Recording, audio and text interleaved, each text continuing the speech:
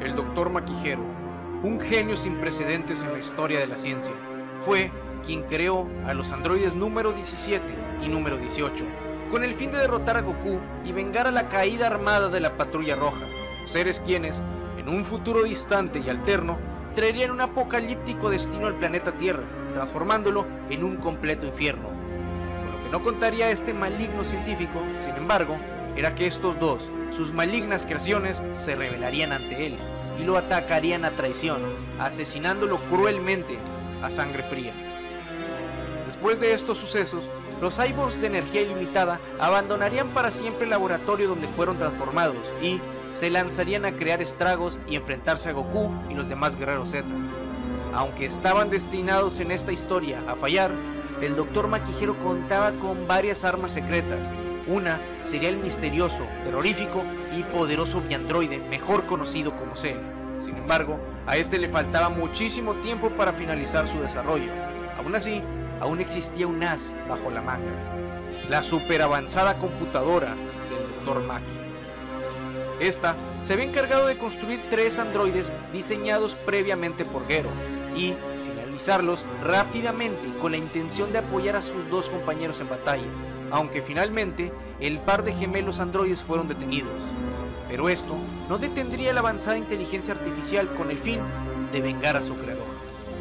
Entre ellos, el hábil e inteligente androide número 15 se encargaría de esta tarea, despertando junto a su compañero, el número 14, siendo quien se encargaría de las estrategias de la batalla y de liderar al dúo. Ambos se abrirían paso con tal de vencer a Goku y a cualquiera que se entrometiera en su camino.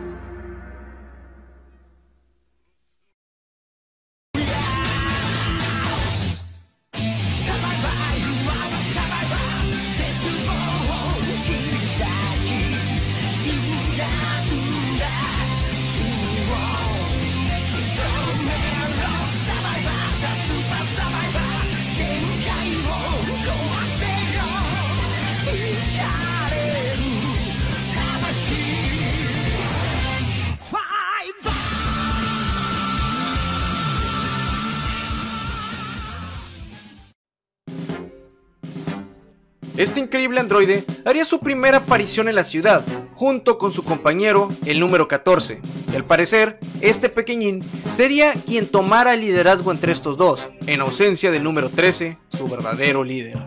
Pese a su peculiar y pequeña apariencia física, la especialidad de este increíble androide sería la estrategia y las técnicas especiales de gran poder. Visto en su breve encuentro con Goku, este utiliza la ventaja física de su compañero androide y se limitaría a atacar a distancia. Pese a esto, se defiende bastante bien en el ámbito del cuerpo a cuerpo, pudiendo luchar en igualdad de condiciones con Goku, y más adelante con el poderoso príncipe de los Saiyajin, dándole una paliza solo usando sus puños. Se le da bien el trabajo en equipo con número 14, usando técnicas de ki en combinación con su compañero. Al parecer, la estrategia de la supercomputadora avanzada del Dr. Maquijero era enviar a estos dos primero para enfrentarse a Goku y estudiar más al guerrero Saiyajin con el fin de descargar toda la reciente información en el androide más poderoso, en caso de que estos dos no fueran rivales a la altura. Estos androides aprovecharían la ventaja de no ser detectados por los guerreros Z y invadirían la ciudad donde se encontraba Goku, escabulléndose en el edificio donde se encontraba su objetivo demostrando también que estos dos poseen la capacidad de detectar el ki y ubicación de sus contrincantes, así como la habilidad de ver a través de los objetos sólidos con su curiosa tecnología avanzada. Ambos combinarían sus poderes para comenzar con la emboscada Goku y, después del alboroto y destrucción que causaron, finalmente comenzarían su lucha contra el objetivo que debían eliminar. El androide 15 comenzaría observando la lucha, puesto que su enorme compañero se lanzó a combatir a Goku cuerpo a cuerpo como era su especialidad, mientras que él se dispondría a analizar y transmitir todos los datos importantes a la computadora y atacando oportunistamente cada que Goku bajaba la guardia. Es entonces que ambos androides se lanzarían a combatir al mismo tiempo, utilizando a favor la ventaja numérica y pondrían brevemente a Goku contra las cuerdas, pero este último sería apoyado por Trunks. Después de un breve enfrentamiento, ambos Saiyajin decidirían alejarse de la ciudad con el fin de disminuir el número de víctimas en la ciudad, y se transportarían a la cercana región glaciar para continuar allí la lucha. Número 15. Analizaría los datos y el poder de pelea de Trunks y calcularía la fuerza necesaria como para deshacerse de él lo más rápido posible y poder acabar con Goku junto a su compañero poderoso. Y, después de una excelente combinación de golpes y la estrategia necesaria tras leer sus técnicas y estilo de combate, ambos conseguirían imponerse sobre Goku. Finalmente, su líder, el androide número 13, llegaría al campo de batalla, con el fin de apoyarlos y tener éxito en su objetivo. Se encargaría de pelear con Trunks breves instantes, junto a su compañero, hasta la llegada del príncipe Saiyajin, con quien comenzaría un combate individual, pudiendo luchar enteramente con todo su poder. Tras recibir los datos de la supercomputadora, el número 15 se lanzaría directamente al combate en contra de Vegeta, con quien tendría un encuentro formidable. Cada vez empezaban a luchar con más y más poder, aunque los androides se estaban conteniendo en realidad, pero aquellos enemigos Saiyajin también lo hacían. Porque cuando tenía Vegeta contra las cuerdas, este liberaría todo su poder legendario, desencadenando así la legendaria transformación en Super Saiyajin junto a sus dos compañeros restantes.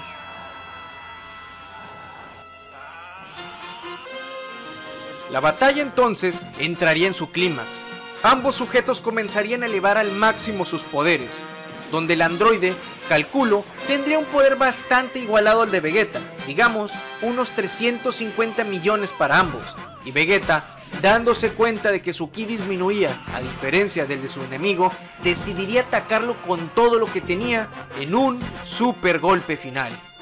Confiado, el pequeño androide creería haber ganado la contienda, sin embargo, descubriría que el daño que le provocó el príncipe de los Saiyajin había sido fatal.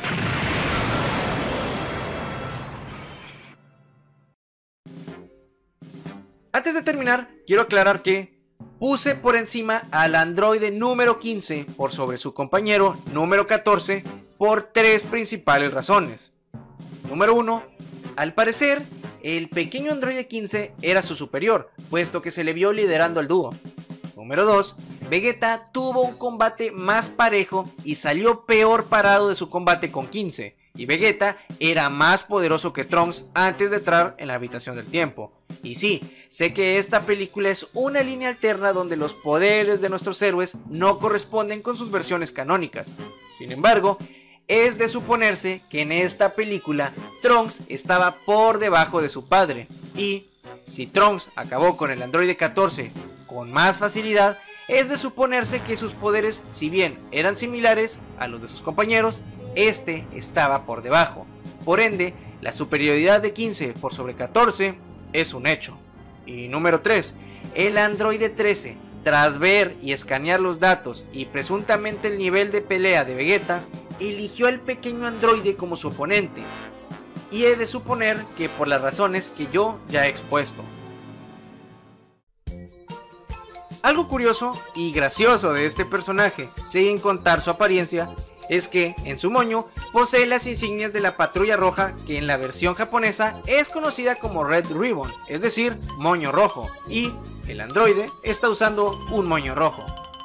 Al parecer, su apariencia está basada en un estereotipo afroamericano, además de ser un personaje de corta estatura. Se desconoce qué es lo que toma de la botella que carga consigo, si alcohol, aunque siendo un androide debería ser aceite, cosa bastante curiosa a decir verdad. Sus ojos son artificiales en su totalidad, y al parecer es el único androide que no está terminado, por así decirlo. O quizá simplemente este diseño fue elegido por el mismo Dr. Hero o su computadora. Existió un error al momento de su creación y adaptación a la película, puesto que, tras diseñarlos, el autor Akira Toriyama los había nombrado como 14 a este androide y 15 al enorme y corpulento, pero por alguna razón desconocida en Toei Animation cambiaron sus nombres.